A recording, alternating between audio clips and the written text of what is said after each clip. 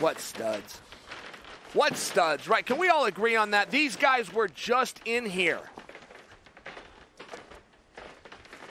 The Olympic Games for judo has what's called a 30 minute time period. For Greco Roman and freestyle wrestling, it's called a 25 minute time period. What that means is whatever athlete is involved in the match, whatever athlete finished last, gets 25 minutes before you can begin the, the event.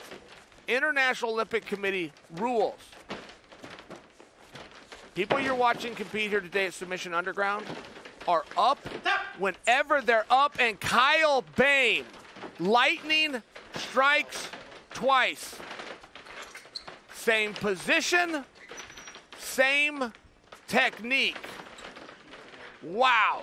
To finish my thought about turnaround, you are going to see Pedro and you are going to say Jimenez very quickly. Pedro left the ring moments ago. Before he could get to the back, they clean the ring before they start this. Whatever time it takes to clean the ring is the only break that they get. And by the time Pedro got to the back, somebody's telling him, turn around because you're headed back out there. Kevin Keeney, how impressed are you with Kyle Boehm? Ladies and gentlemen, your winner by submission due to heel hook at 43 seconds of regulation and advancing to the finals of the eight man absolute tournament, Kyle Boehm. Guys, when you get to this level, this is not about money.